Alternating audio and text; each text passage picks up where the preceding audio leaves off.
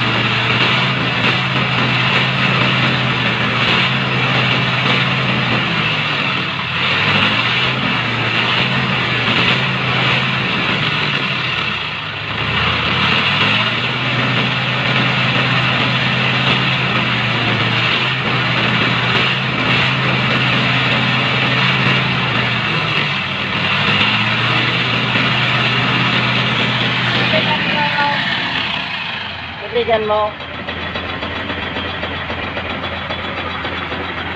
Naubos, naubos man, pero naubos mga pirang ano na.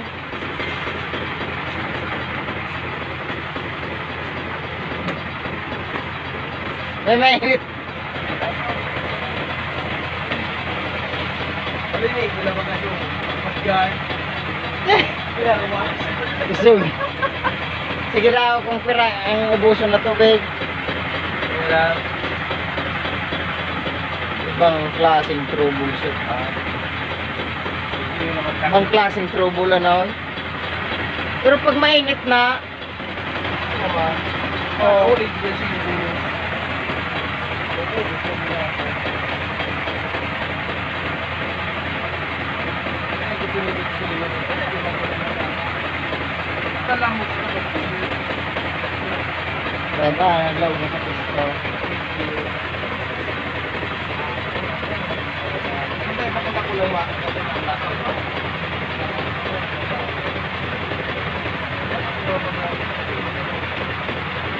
Kira.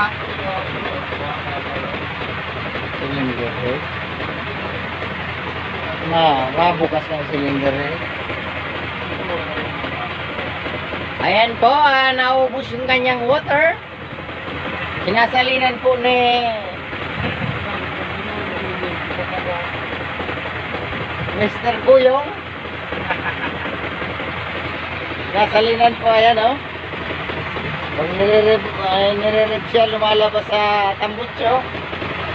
Ano kayang problema?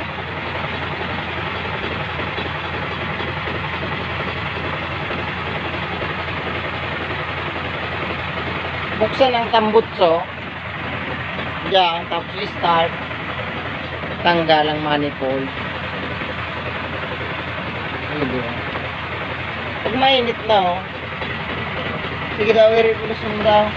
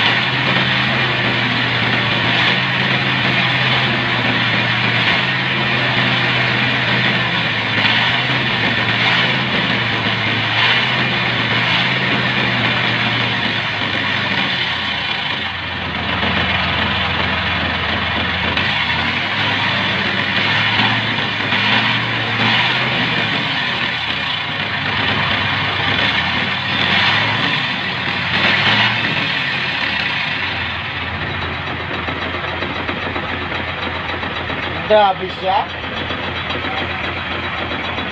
Nawawala pag mainit na. Grabe siya. Ang lakas ng dating.